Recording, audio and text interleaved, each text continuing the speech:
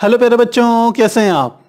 आजकल हम कर रहे हैं बहुत ही इंपॉर्टेंट सीरीज़ जो कि नीट आईआईटी जेई के लिए बहुत अधिक महत्वपूर्ण है। पहले हम काफ़ी बार चर्चा कर चुके हैं इस चीज़ में। और इसी कड़ी में आज हम कर रहे हैं क्लास इलेवेंथ में चैप्टर नंबर इलेवन के अतिरिक्त अभ्यासों को। तो आप अच्छे से इन अभ्यासों को ज़रूर कीजिएगा। हमने जब इस चैप्टर की थ्योरी आपको कराई थी तो उस समय क्वेश्चन नंबर 14 तक आपको हम करवा चुके थे न्यूमेरिकल आज वहीं से आगे हम आगे शुरू कर रहे हैं, जो बचे हुए हमारे जितने न्यूमेरिकल हैं, उनको करेंगे। तो इसी कड़ी में हम सबसे पहले ले रहे हैं क्वेश्चन नंबर 15 जो कि इस प्रकार से है। इसके अनुसार कुछ सामान्य गैसों के अक्ष पर मोलर विशिष्ट उष्मा धारिताओं के प्रेक्षण नीचे दिए गए हैं, और इसमें कौन कौन से दिए गए हैं? Hydrogen, nitrogen, oxygen, nitric oxide, carbon monoxide तथा क्लोरीन। लगभग सबके जो मान है वो 4.87 से 5.01 के लगभग हैं। फोर पॉइंट, हमने कहा एट सेवन से कहाँ तक है? फाइव पॉइंट ज़ीरो वन तक। और ये कौन कौन से हाइड्रोजन है? और यहाँ पर है कार्बन मोनोऑक्साइड। ये इस तरीके से है गैसे। और ये सारी गैसें कौन सी हैं? द्विक परमाणु गैसें हैं। तो क्या प्रश्न कह रहा है? साथ में क्लोरीन का भी इन्होंने दे दिया। क्लोरीन का इन्होंने दिया है। यह है सिक्स पॉइंट वन सेवन और ये हमें क्या दे है विशिष्ट उष्माएँ। तो आगे क्या कह रहा है? इन गैसों की मापी गई मोलर विशिष्ट उष्मा धारिताएँ एक परमाणु गैस की मोलर विशिष्ट उष्मा धारिताओं से सुस्पष्ट रूप से भिन्न है। प्रतीकात्मक रूप से किसी एक परमाणु गैस की मोलर विशिष्ट उष्मा होती है 2.92 2.92 साथ में इसका मात्रक है कैलोरी पर मोल कैलविन। इतना इसका मात्रक है। इस अंतर का स्पष्टीकरण कीजिए। क्लोरीन के कुछ अधिक मान शेष की अपेक्षा होने से आप क्या निष्कर्ष निकालते हैं? तो देखिए, यहाँ हमें दो बातें बतानी है। पहली बात तो यह कि ये द्विक परमाणु जो गैसें हैं, वह इन एक परमाणु की गैसें ये सब हैं द्वि परमाणुक गैसें। इन सब की क्या है? मोलर विशिष्ट उष्माधारिता। मोलर विशिष्ट ऊष्मा धारिता। यह है। और यह हमारे पास क्या है? यह है एक परमाणु की। किसकी है? यह है एक परमाणु। एक परमाणु की। जो एक परमाणु वाले अणु होते हैं, ये द्वीप परमाणु गैसे, यानी कि जिसके हम कह सकते हैं एक अणु में दो परमाणु हो द्वीप परमाणु कैसे होगी? जिसके हम कह सकते हैं कि एक अणु में एक ही परमाणु हो, वो एक परमाणु गैस हो गई? तो अब बात आ रही है कि ये पूछ रहा है कि इनका जो विशिष्ट मोलर विशिष्ट उष्मा धारिता है, वो चार दशमलव आठ एक से लेके पाँच दशमलव ज़ीरो एक के बीच में होती है, जो लगभग आपस में बराबर है। जबकि क्लोरीन की इनसे काफ़ी ज़्यादा होती है, सिक्स पॉइंट वन सेवन के लगभग होती है। इनके तुलना में जो एक परमाणु, जो गैसों की एक मोल की या मोलर विशिष्ट उष्मा धारिता जो होती है, वो 2.92 कैलोरी पर मोल कैलविन होती है। तो इसमें हमें अंतर बताना है। देखिए मेन बात यह है कि पहले आपको यह पता होना चाहिए कि मोलर विशिष्ट उष्माधारिता क्या होती है। किसी भी गैस के एक मोल का ताप एक डिग्री सेंटीग्रेड बढ़ाने के लिए जो आवश्यक उष्मा की आवश्यकता होती है, उसे हम क्या कह देते हैं? उस गैस की मोलर विशिष्ट उष्माधारिता। एक बार दोबारा रिपीट कर रहा हूँ। आप चाहें तो इसे लिख सकते हैं। मोलर विशिष्ट उष्मा धारिता का अर्थ है कि किसी गैस के एक मोल का ताप, एक मोल गैस का ताप एक डिग्री सेंटीग्रेड बढ़ाने के लिए आवश्यक उष्मा की मात्रा को ही उस गैस की मोलर विशिष्ट उष्मा धारिता कहते हैं। तो डेफिनेशन क्लियर हो गई। अब बात आती है कि एक परमाणु की जितनी भी गैसें हैं, उनकी मोलर विशिष्ट उष्मा धारिताओं का मान लगभग दो दशमलव नौ दो कैलोरी पर मोल केल्विन के बराबर होता है। जबकि द्विपरमाणु गैसों का मान, इसका तो 2.92 एवरेज वैल्यू इतनी है, जबकि इसका जो मान है वो 4.87 से 5.01 के बीच में है। इतना अंतर क्यों है? देखिए, अंतर इसलिए है कि हमने वहाँ पर आपको बताया था स्वतंत्रता की कोटियाँ। और स्वतंत्रता की कोटियों में आपको यह बात समझाई थी कि कोई भी जो गैस होती है, उसके अणु कितनी प्रकार की गति कर सकते हैं। तो जो एक परमाणु गैसें होती हैं, जितने भी गैसों में, एक अणु में एक परमाणु होता है। इन एक परमाणु गैसों में केवल एक प्रकार की गति होती है, जिसे हम कहते हैं स्थानांतरित गति। स्थानांतरित गति। इसका अर्थ है कि इन परमाणुओं की, क्योंकि केवल एक गति है इन अणुओं की, केवल एक प्रकार की गति है, इसलिए हम कह सकते हैं कि यह कम ऊष्मा ग्रहण करते हैं और ताप जल्दी से एक डिग्री सेंटीग्रेड बढ़ा लेते हैं। अर्थात यदि इनको इतनी ऊष्मा दे दी जाए तो उनका ताप एक डिग्री केल्विन बढ़ जाएगा। तो ये बात हमें समझ में आती है। अब समझिए, ये द्विक परमाणु गैसें कौन सी होती है? ये द्विक परमाणु गैसों की जो हम कहते हैं इनमें यह है द्वि परमाणु गैसें। इनकी खास बात क्या होती है? इनमें दो प्रकार की गति होती है इनके अणुओं में। एक होती है स्थानांतरित और दूसरी होती है घूर्णी गति। घूर्णी गति घूर्णी गति इसका अर्थ यह हुआ कि इनको अपना गैस का ताप एक डिग्री सेंटीग्रेड बढ़ाने के लिए अधिक उष्मा की आवश्यकता होगी। क्यों होगी अधिक उष्मा की आवश्यकता? क्योंकि वह उष्मा दो रूपों में परिवर्तित हो रही है। एक स्थानांतरित ऊर्जा के रूप में भी परिवर्तित हो रही है एक घूर्णी गति ऊर्जा के रूप में भी परिवर्तित हो रही है। जबकि एक परमाणु गैस में केवल एक प्रकार की गति के रूप में ऊर्जा का प्रयोग हो रहा था। इसलिए हम कह सकते हैं कि इनको उष्मा की अधिक आवश्यकता होती है। द्विक परमाणु गैस वालों को अपेक्षाकृत एक परमाणु गैस को। अब यहाँ पर एक और प्रश्न उसने पूछा है कि जो क्लोरीन है, वह एक द्विक परमाणु गैस है, लेकिन उसकी मोलर विशेष उष्मा धारिता इन गैसों की तुलना में, बाकी द्विक परमाणु गैसों की तुलना में काफ़ी ज़्यादा है। इसका अंतर क्यों है? इसका अंतर भी इस प्रकार से है कि जो सामान्यतः द्विपरमाणु गैसें होती हैं, उनमें दो प्रकार की गति होती है, स्थानांतरित गति और घूर्णन गति, जबकि क्लोरीन में एक और प्रकार की गति होगी, यह दोनों गतियाँ तो होंगी होंगी इसमें। इसमें एक और प्रकार की गति होती है, जिसे कहते हैं कंपनिक गति। इसका अर्थ है, इसके अणु क्या करते हैं? वाइब्रेट करते हैं, कंपन भी करते हैं। तो जहाँ एक परमाणु गैस में एक प्रकार की गति होती है, द्विक परमाणु गैसों में सामान्यतः तो दो प्रकार की गति होती है। वहीं क्लोरीन में द्विक परमाणु गैस होने के बाद भी उसके अणु तीन प्रकार की गति करते हैं, स्थानांतरित घूर्णी या कंपन गति।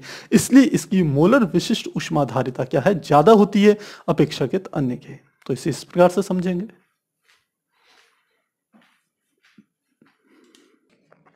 हमारा नेक्स्ट क्वेश्चन है क्वेश्चन नंबर 16 जो कि इस प्रकार से है। इसके अनुसार CO2 के पीटी प्रावस्था आरेख पर आधारित निम्नलिखित प्रश्नों के उत्तर दीजिए। तो देखिए, यहाँ पर हमने CO2 का प्रावस्था आरेख बना रखा है, पीटी आरेख जिसे कहते हैं। प्रावस्था आरेख या पीटी आरेख क्या चीज़ है? प्रावस्था का अर्थ होता है अवस्था परिवर्तन। यदि ये C2 का प्रावस्था वक्र है तो इसका अर्थ है कि यह CO2 की कार्बन डाइऑक्साइड की ठोस, द्रव तथा गैस अवस्थाओं में परिवर्तन को प्रदर्शित कर रहा है। और यह वक्र होता है यह है हमारे पास P यानी कि दाब, जो कि ATM यानी कि यह किसमें एटमॉस्फेरिक प्रेशर में, जिसे हम वायुमंडलीय दाब कहते हैं। उसके पदों में है। और दूसरा जो हमारा ये ताप है T एक्स अक्ष पर, यह प्रदर्शित कर हुआ है डिग्री सेंटीग्रेड के रूप में। तो अब CO2 के इस वक्र को हम मोटा मोटा पहले समझ लेते हैं, फिर इन क्वेश्चंस के आंसर देंगे। इसके अनुसार, जब हम CO2 का यदि मान ज़ीरो डिग्री सेंटीग्रेड से भी बहुत कम, ये माइनस अठहत्तर और एक डिग्री सेंटीग्रेड पर तो यह वक्र है। तो ये जो वक्र है, मान लेते हैं, इनके नाम ले लेते हैं, ये ओ है, ये वाला बिंदु हम ए ले लेते हैं, ये वाला बिंदु बी ले लेते हैं, ये सी ले लेते हैं। तो देखिए ओ ए प्रदर्शित करता है कि इस वक्र के इधर का हिस्सा ठोस है और इधर का हिस्सा वाष्प। इसका अर्थ है, इस पर स्थित विभिन्न बिंदु जो हैं, वह दो अवस्थाओं पर स्थित हैं, यानी कि दो साम्य अवस्थाओं पर हैं। यदि यहाँ पर यदि कोई एक बिंदु ले लूँ या यहाँ पर कोई बिंदु ले लूँ, यह बिंदु जिस पर कि एटमोस्फेरिक प्रेशर यानी कि दाब का मान वन है, तथा ताप का मान माइनस अठहत्तर दशमलव पाँच डिग्री सेंटीग्रेड है, इसका अर्थ है कि इस दाब तथा ताप पर यह CO2 दो अवस्थाओं में साम्य रूप से स्थित है, ठोस अवस्था में तथा वाष्प अवस्था में। अब यदि थोड़ा सा आप दाब या ताप परिवर्तित करेंगे तो क्या होगा? आप ये गैस या तो ठोस में परिवर्तित हो जाएगी या वाष्प में परिवर्तित होगी, इस बात पे डिपेंड करता है कि आप क्या चीज़ कितना परिवर्तित कर रहे हैं। फिर हम बात करते हैं वक्र ओ से लेके बी तक की। ओ से लेके बी तक के वक्र के इधर की ओर देखें तो ये ठोस अवस्था है, और इससे इधर की ओर देखें तो ये बीच की द्रव अवस्था आ जाती है। इसका अर्थ है कि इस पर जो विभिन्न बिंदु होंगे ए बी के बीच में ए बी रेखा पर, वक्र पर जितने भी बिंदु होंगे, वो दो हम कह सकते हैं अवस्थाओं की साम्य बिंदुओं को साम्य अवस्थाओं को प्रदर्शित करेंगे। इससे इधर आएँगे तो ठोस और इससे इधर आएँगे तो वो द्रव में परिवर्तित हो जाएगी। कौन सी? सीओ टू वक्र के तीसरे हिस्से में बात करें जिसे हम कहते हैं एसी एसी ऐसी अवस्था है जिसके ऊपर का हिस्सा द्रव को और नीचे का हिस्सा वाष्प को प्रदर्शित करता है। एक प्रकार से आप ये भी कह सकते हैं कि जो ओ ए है जो ओ है, है ये ऊर्ध्व पार्तन वक्र को प्रदर्शित कर रहा है। ये ए बी गलनांक वक्र है। गलनांक। गलनांक है। और तीसरा ये ए सी, ये क्वथनांक वक्र है। क्वथनांक वक्र। क्यों मैंने इनको कहा? ओ से लेके ए तक की दो स्थितियाँ हैं। ठोस स्थिति और वाष्प, यानी कि या तो ठोस में रहेगा या वाष्प में रहेगा। तो ठोस से वाष्प में परिवर्तित होने के गुण को हम क्या कहते हैं? ऊर्ध्वपार्तन का गुण कहते हैं। इसलिए यह वक्र ऊर्ध्वपार्तन का है। अब ये दूसरा वक्र है ए बी, इसके इधर की ओर ठोस इधर की ओर द्रव। इसका अर्थ है कि यदि या तो पदार्थ ठोस अवस्था में रहेगा या द्रव अवस्था में रहेगा तो यह लाइन बताती है कि इसके इधर की ओर आएगा तो पदार्थ ठोस से द्रव में परिवर्तित होगा। और उसको हम क्या कहते हैं? गलनांक कहते हैं इस घटना को, यदि ठोस द्रव में परिवर्तित हो। तीसरी हमने ली ए सी, ये हमारा हमारा इधर की ओर द्रव है और इधर की ओर क्या है? वाष्प। इसका अर्थ है कि यह जो एसी लाइन है, यह क्वथनांक को प्रदर्शित कर रही है।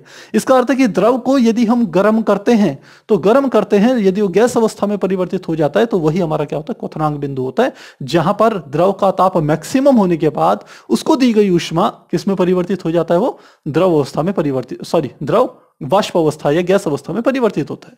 तो मुझे लगता है वक्र आपको समझ में आ गया है। अब हम इसके क्वेश्चंस देखते हैं। और इसमें मैंने बताया आपको कि जो ए बिंदु है, इसे हम त्रिक बिंदु कहते हैं। इसको त्रिक इसलिए कहते हैं क्योंकि इस बिंदु पर CO2 की कार्बन डाइऑक्साइड का एक CO2 तीन समय अवस्थाओं में रहता है।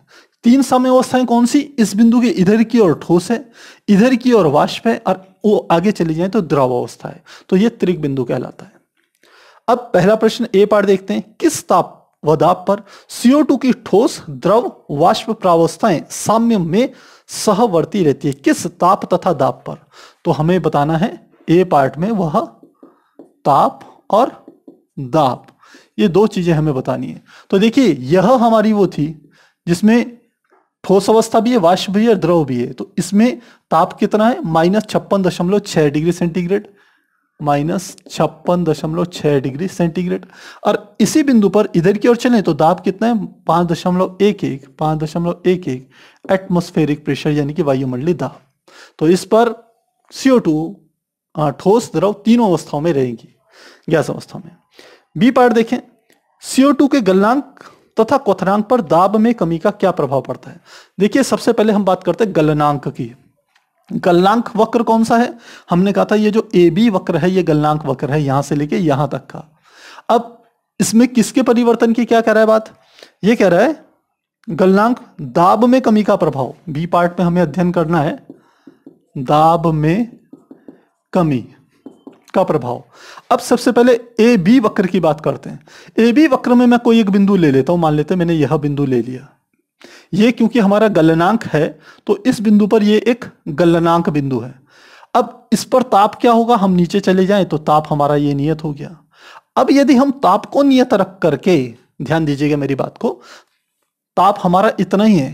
ताप को नियत रख करके यदि दाब को घटाते हैं, दाब को क्या कर रहे हैं? घटा रहे हैं। घटेगा कैसे? हम इसके इसके क्रॉसपॉन्डिंग दाब इतना था तो दाब को थोड़ा सा नीचे की ओर लाएँगे तो क्या होगा? इस स्थिति में हमें यह वक्र यहाँ पर पता मिलेगा, यहीं पर वक्र पर यह बिंदु मिलेगा।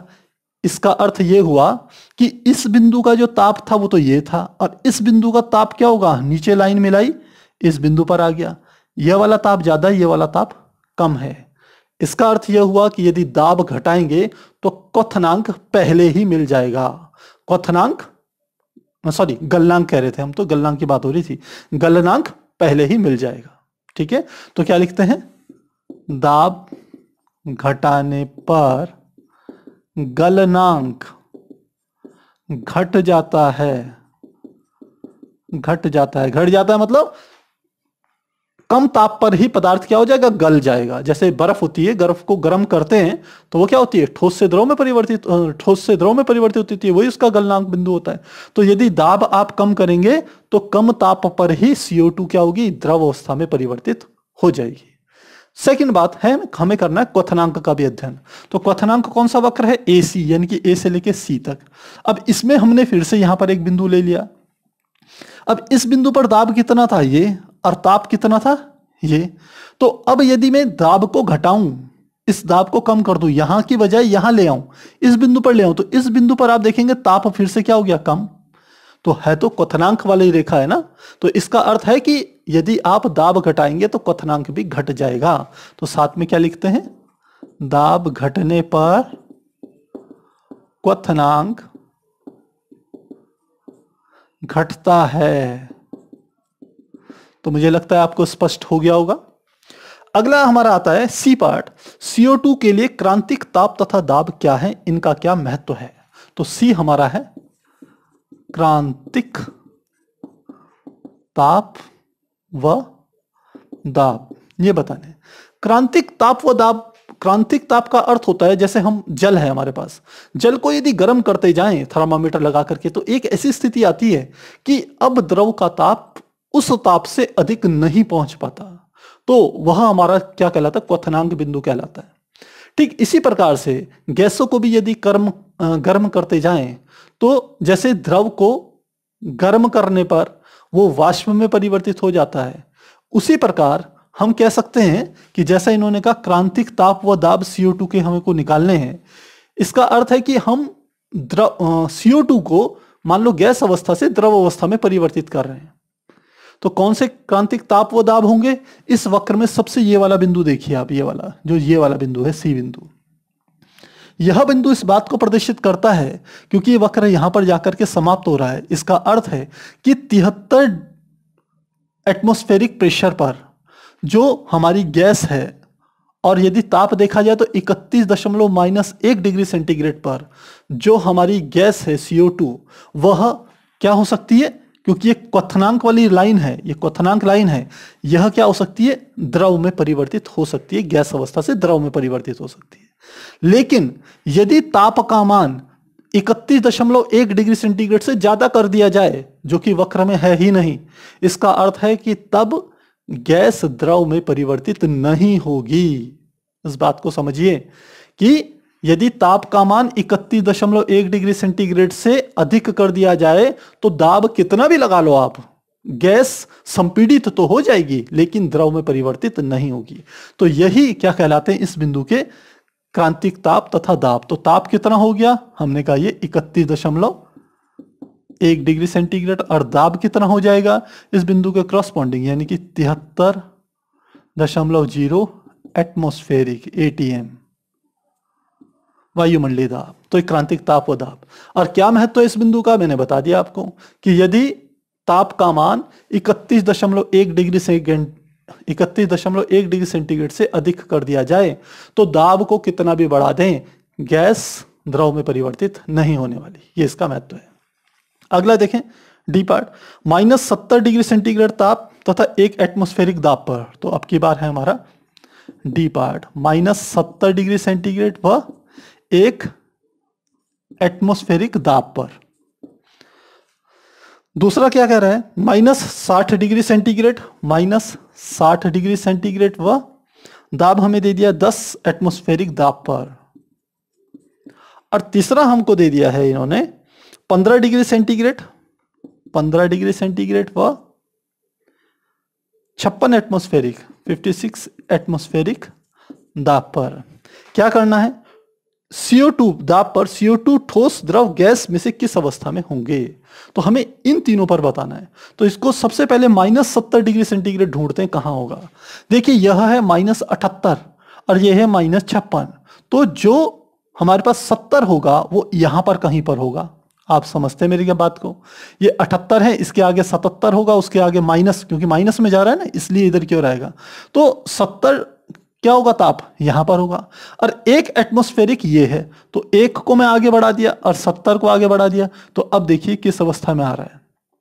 तो मुझे लग रहा है साफ़ दिख रहा है, एक को आगे की ओर ले गए और यहाँ सत्तर को ले लिया। ये मैंने कौन सा लिया?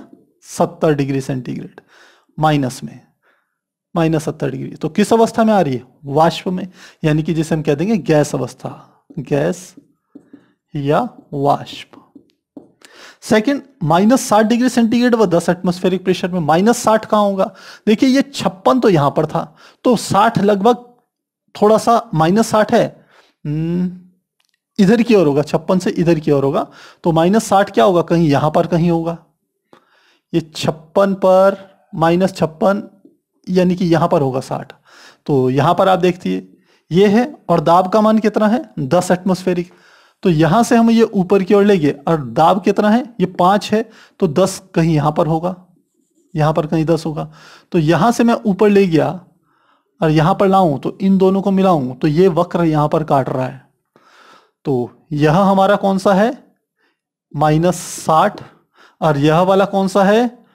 दस, टेन ए टी एम तो कहाँ पर मिले दोनों? यहाँ पर मिल गए, और ये कौन सी अवस्था है? ठोस अवस्था है तो यानी कि यह कौन सी अवस्था होगी? ठोस अवस्था होगी। तीसरी चीज़ 15 डिग्री सेंटीग्रेड व छप्पन एटमोस्फेरिक पर। 15 डिग्री सेंटीग्रेड कौन सा होगा? छप्पन से इधर 20 से पहले, यानी कि यहाँ पर होगा। यह कौन सा ताप हो गया? 15 डिग्री सेंटीग्रेड। और दाब कितना है? छप्पन। तो छप्पन हमारा ये है ही। इन दोनों को आपस में मिलाया जाए, इसको यहाँ से घुमा करके ले जाएँ, क्योंकि ये तो 20 डिग्री सेंटीग्रेड पे था तो यहाँ से घुमा करके यहाँ पर ले जाएँ तो ये यहाँ पर कटेगा कहीं पर।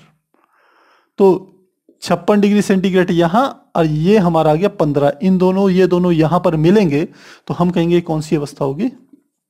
द्रव अवस्था होगी। डायग्राम थोड़ा सा हम कह रहे हैं ज़्यादा हो गया है। तो आप एक बार डायग्राम को देखिए, फिर उसके बाद नया डायग्राम बना करके फिर उसमें ये बिंदु ढूंढिए, आपको स्पष्ट दिख जाएँगे। तो इस प्रकार से हम इस प्रश्न को हल कर सकते हैं।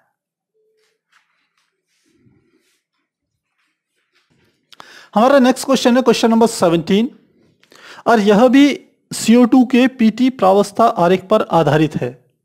और अगर प्रावस्था आरेख हमने इससे पहले भी करा था। यदि कहीं पर आपको वहाँ पर कुछ डाउट्स होगा तो इस प्रश्न में आपको और स्पष्ट हो जाएगा। तो क्या कह रहे हैं? CO2 के पीटी प्रावस्था आरेख पर आधारित निम्नलिखित प्रश्नों के उत्तर दीजिए। पहला है, एक एटमोस्फेरिक दाब तथा माइनस साठ डिग्री सेंटीग्रेड ताप पर CO2 का समतापी संपीड़ित किया जाता है। क्या यह द्रव अवस्था, द्रव प्रावस्था में जाएगी? तो क्या कहा? माइनस एक एटमोस्फेरिक दाब पर और माइनस साठ डिग्री सेंटीग्रेड तो दाब कितना कर लिया? पी तो एक एटमोस्फेरिक दाब पर। और ताप कितना कर लिया हमने? टी इसको कैपिटल पी कर लेते हैं। ताप हमने रखा है इसका माइनस साठ साठ डिग्री सेंटीग्रेड अब समतापी संबिटित का अर्थ है कि ताप तो आपने नियत रखना है। और दाब का मान बढ़ाना है। बढ़ाना है।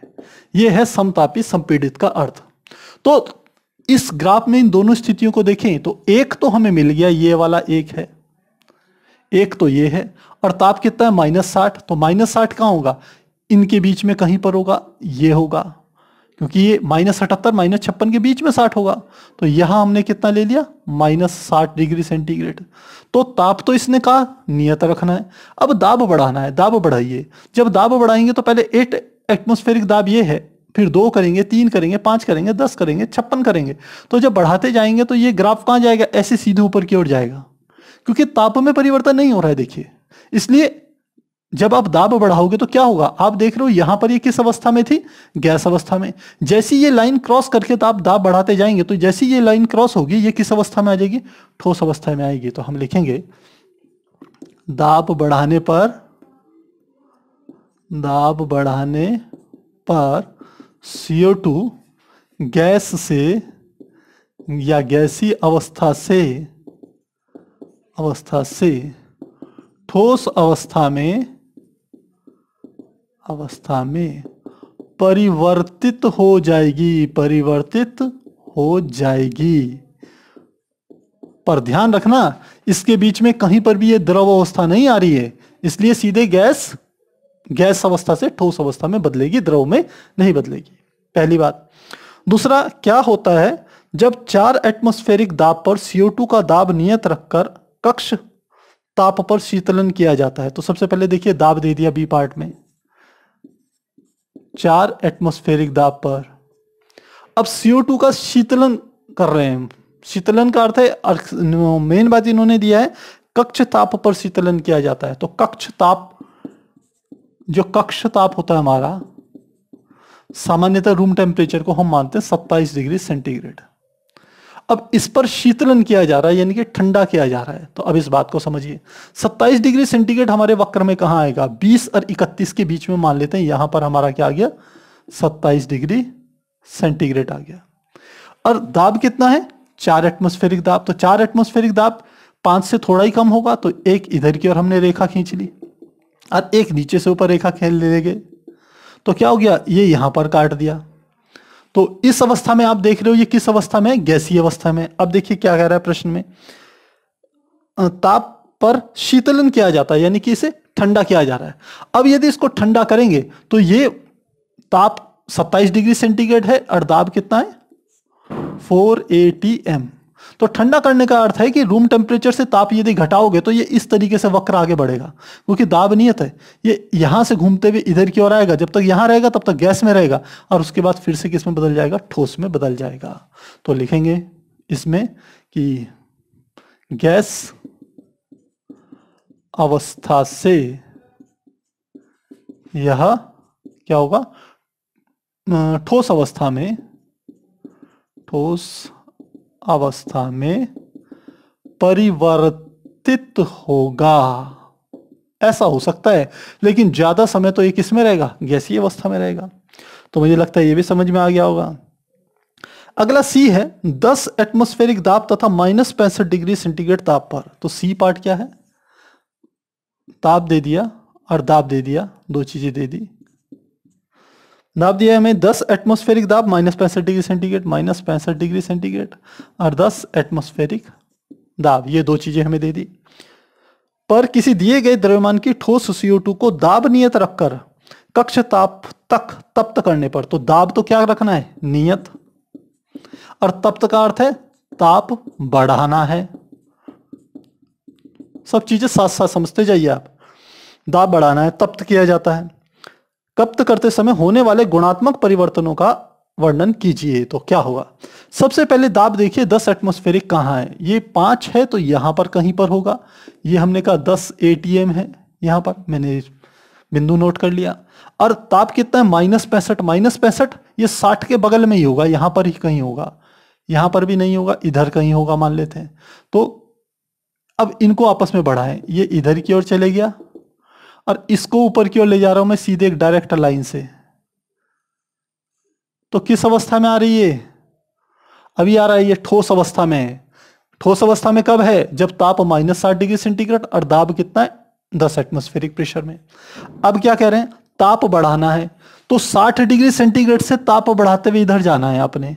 तो 60 से माइनस छप्पन, बीस, इकतीस तो ये वक्र में ऐसी ये रेखा एक सीधी आती चली जाएगी। जैसे से ताप बढ़ाएँगे तो दाब तो नियत है तो ताप बढ़ने के अनुसार ये रेखा इधर की ओर जाएगी। तो आप देख रहे हो, पहले ये रेखा इस बिंदु पर आई, फिर ये द्रव क्षेत्र में गई और फिर यहाँ के बाद ये रेखा फिर से कहाँ आ गई? गैसी क्षेत्र में आ गई। तो हम क्या लिखेंगे? सीओ टू ठोस से द्रव तथा द्रव से गैस में परिवर्तित होती है, परिवर्तित होती है। तो मुझे लग रहा है बात समझ में आ रही होगी आपको, क्योंकि ये वक्र यहाँ पर, ये वाला वक्र आ गया, इसलिए ठोस से द्रव द्रव से गैस में जाएगी।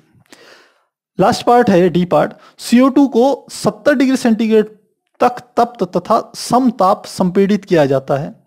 आप प्रेक्षण के, इसके किन गुणों के गुणों में अंतर की अपेक्षा रखते हैं। कितने डिग्री पर? 70 डिग्री सेंटीग्रेड पर। डी पार्ट हमारे को क्या कह रहा है?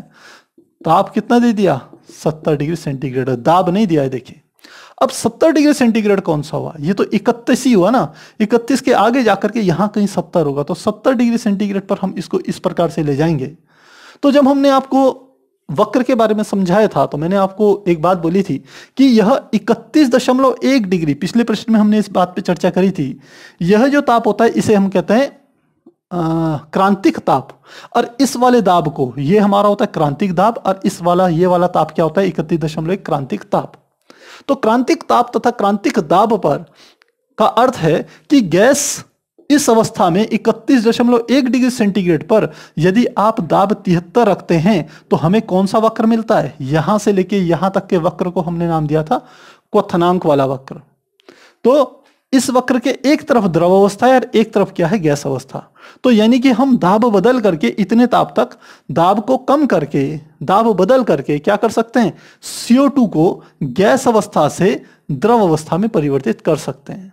साथ ही मैंने बताया था ये क्रांतिक ताप इसको इसलिए कहते हैं क्योंकि यदि इसके बाद आपने ताप बढ़ाया, ताप का मान ज़्यादा कर दिया तो अब आप दाब कितना भी लगाइए, ये गैस द्रव अवस्था में नहीं आने वाली। इसीलिए इसको क्रांतिक ताप, क्रांतिक दाब कहते थे। तो अब इसने तो ताप कितना दे दिया है? यहाँ पर दे दिया, ये कितना है? सत्तर डिग्री सेंटीग्रेड। तो ये तो क्रांतिक ताप से बहुत ज़्यादा हो गया ना। तो इस स्थिति में आपने ताप बहुत अधिक बढ़ा दिया। अब आप दाब परिवर्तित करोगे तो भी गैस द्रव अवस्था में नहीं आएगी। तो भले ही आप उसको दाब बढ़ाओगे, उसका आयतन कम हो जाएगा, लेकिन वो द्रव अवस्था में नहीं आएगी। तो क्या लिखेंगे? CO2 गैस अवस्था में रहेगी। अवस्था में रहेगी। तथा द्रव अवस्था में नहीं आएगी नहीं आएगी। जब आप दाब बढ़ाएँगे तो आयतन कम भल हो जाएगा, आयतन परिवर्तित होगा परिवर्तित होगा। आयतन तो परिवर्तित हो जाएगा कि दाब बढ़ाओगे तो आयतन कम हो जाएगा, दाब घटाओगे तो आयतन बढ़ जाएगा। लेकिन ठोस द्रव सॉरी गैस अवस्था से द्रव अवस्था में परिवर्तित नहीं रहेगी, गैस की गैस अवस्था में रहेगी। तो इस प्रकार से हम इस प्रश्न को कर सकते हैं।